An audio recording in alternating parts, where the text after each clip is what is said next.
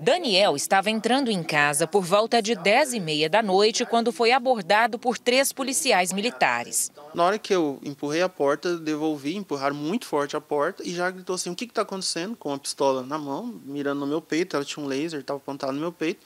Começou a perguntar o que está acontecendo aqui, o que está acontecendo aqui, e eu fiquei devolvendo o que está acontecendo aqui, o que está acontecendo, porque realmente eu não sabia o que estava acontecendo, e ele foi aumentando o tom, e eu, por não ter preparo para lidar com essa situação, fui aumentando também o que está acontecendo, o que está acontecendo, fui gesticulando.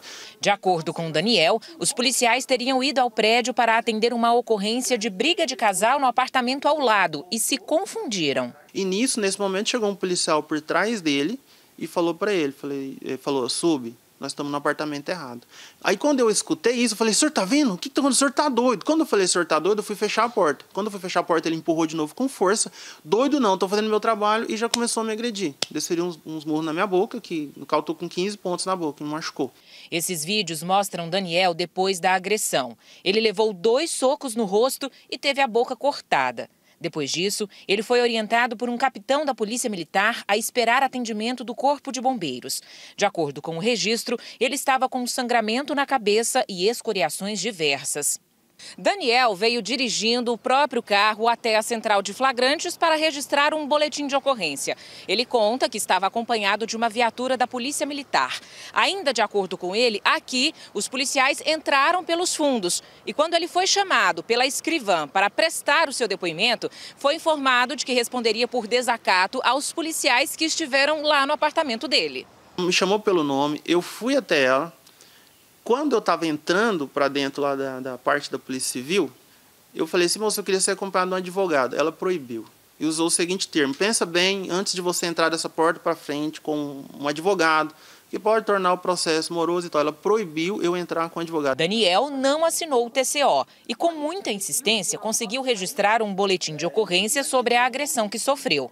Ele procurou a Corregedoria da Polícia Civil para denunciar o atendimento que recebeu na Central de Flagrantes. Ele também esteve na Corregedoria da Polícia Militar. Me atendeu com os seguintes termos que eu ouvi lá. Olha, o senhor está aí todo machucado, mas o senhor já machucou, já vai fazer o quê? O senhor vai prejudicar um pai de família? O que, que o senhor vai ganhar com isso? E outra coisa, no final é capaz o senhor ter que ser processado criminalmente por esse TCO aqui. É capaz de senhor, ainda vou falar para o senhor, o senhor ainda vai ser processado criminalmente.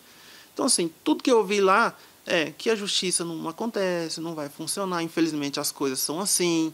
É, é, aí eu, eu falei assim, então faz o seguinte, ah, na, na, no documento aqui da Corregedoria da Polícia Civil já tem todos os fatos. Não precisa nem registrar, não, só copia. Copia o que já está escrito aqui e vamos registrar. E assim eles fizeram, eles nem registraram, eles só escanearam o documento da Polícia Civil para fazer o processo lá.